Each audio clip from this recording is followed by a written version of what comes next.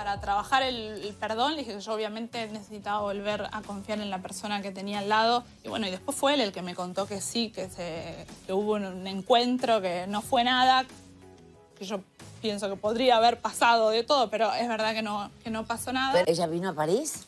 Parece que sí. A mí, igual a mí no me cambia, ¿eh? Ah, o no sea, si para mí un mensaje es gravísimo en nuestra relación. Sí, claro. Y bueno, a los cinco días de ese supuesto eh, Encuentro. encuentro. que me cuenta, yo ahí rebobino y me acuerdo de que, de que ella en un recital me había llamado, no me había, no sé si me había ni siquiera llamado a mí, yo hasta había otra persona y le dijo, pasame con Wanda, y yo estaba así, con mis dos hijas acá sentadas a UPA. Hace cinco días había estado acá Sí.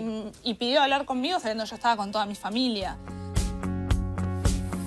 Eh, no la deja muy bien parada igualmente a la No, chica. no, es verdad. no, es que claro yo digo una no. cosa porque de lo que veo y después eh, se dicen otra cosa. Pero por Me pongo eso, nervioso. Es raro. Es raro porque, insisto, hay que ver toda la entrevista. Acá está muy segmentada. Ah, está editada, editadísima. Claro.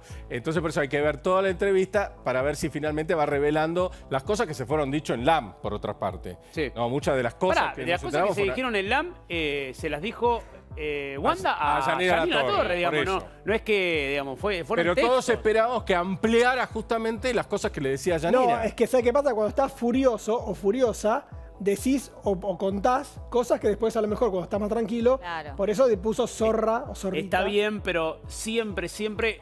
Digo, es- Prendete el, el. No, Ay, yo.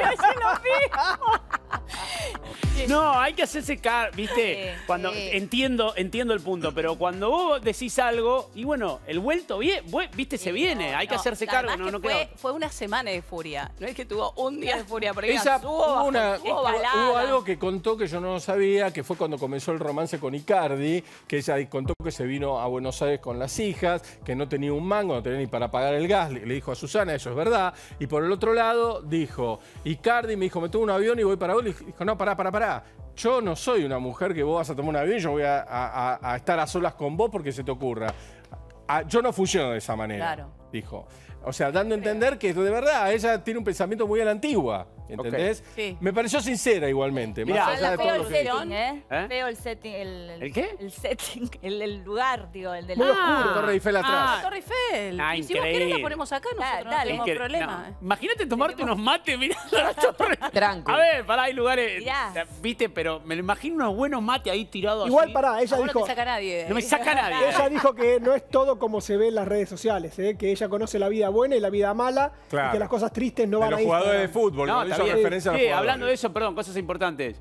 Hoy juega el Paris Saint Germain por Champions. Vamos, ma- vamos Messi, ¿eh? Mirá, vamos, ¿eh? mirá Vamos Matías olvidaste. Paredes. Ya en Independiente no habla más. No, estamos mal. Hoy juega Independiente también. Claro. Para mí, eh, la Semana de Furia la hizo decir cosas que no se deberían haber dicho, efectivamente, pero sí es cierto que es una chica sincera. ¿Vos la escuchás? para mí es sincera, Esto sí. que decías, Ari, recién de las cosas malas no van en Instagram, eso lo hacemos todos, chicos. Claro. Total. El Instagram solo publica cosas buenas. Y sí, así. sí, no anda publicando. Es una red social que justamente lo que publica tiene que ver con lo que, lo que te, te enorgullece, te gusta o disfrutás. Ahora voy a subir cosas. Hoy subo, Para hoy mí- subo una foto complicada. Hoy haces Ah. algo feo.